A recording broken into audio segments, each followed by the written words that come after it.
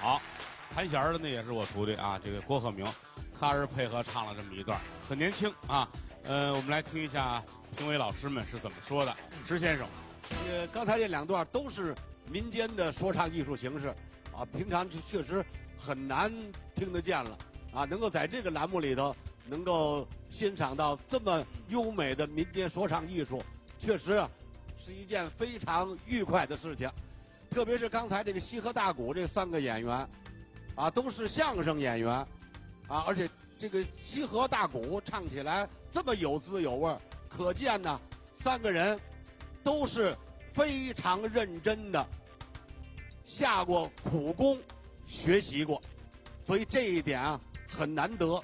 这些传统的艺术形式，在我们德云社没有失传，而且把它呃挖掘出来，进行了发展，所以这一点非常非常的可贵。感谢你们，谢谢谢谢石先生啊，我们再接再厉。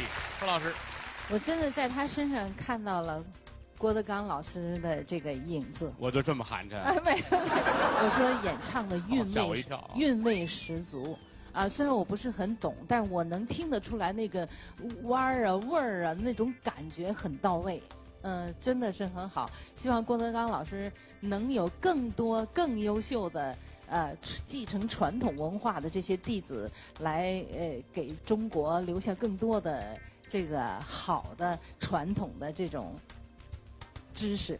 谢谢谢谢何老师，我们努力，谢谢你啊。嗯，大威老师呃老师不敢当，特别是他们唱完之后，还是成学生吧。啊，那威学生好，这个老先生呢很时尚，呃，改革啊，这个三个人都搁一块儿了表演，嗯、这个年轻人呢又很传统，所以对于我个人而言来讲的话，我也没什么可点评的，我觉得都挺好的，呃，就是挺想知，特想知道一下张云雷能不能唱两句啊？这个 可以。这个张云雷在德云社，呃，是两个极端。